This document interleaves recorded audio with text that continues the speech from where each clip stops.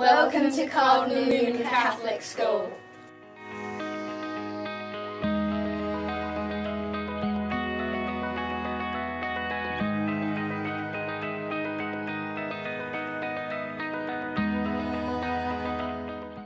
What I like about school is you know, you're always improving. You know, you're always trying to better yourself, always trying to be the best of who you can be.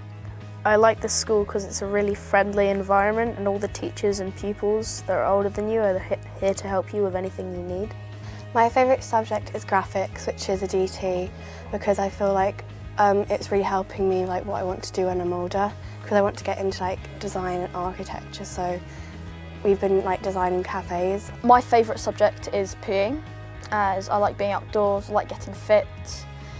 I just like being, you know, playing outdoors. It, it's great, it's you know, a really fun subject. I think my teachers help me in that as they're always correcting you know, my posture maybe in tennis or how I'm hitting the ball. I think it's always good because you're always making yourself better and the teachers really help you with that. In drama you can really express yourself and you can just be a whole nother person for a while and they do really big productions each year. When I first joined the school it felt scary at first but when I found all these new friends, it was just completely amazing how, how many new people you'd meet and how many new experiences you'd have.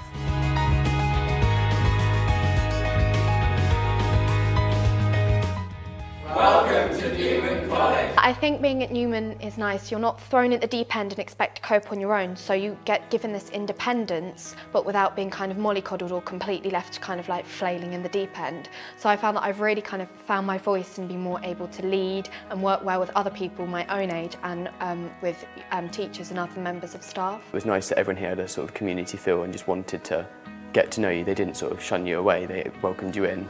I think it was like within a week of being in my English language class, people would just invite me out to go on like group coffees with everyone down into the lanes, which was really sort of comfortable and, and just felt sort of friendly and easy. I feel particularly valued by my teachers, as I think all other students do, that they take an interest in me and how I'm getting along in my studies and how I feel day to day in the college, which has given me a lot of confidence and kind of made me try even harder. And there's definitely not some kind of detachment between the teachers and the students at all. There's a great relationship there and it sort of just helps to make the experience all the more better really. I feel like I have like real excitement that I've really enjoyed my time here and although I'm going to be really sad to go I'm really it's kind of given me the confidence to go out into the into the wide world. Of course our best ambassadors are our students and over the last few minutes I hope you've had the opportunity to hear them speak about their hopes, about their aspirations, about the experiences that they've had at the school.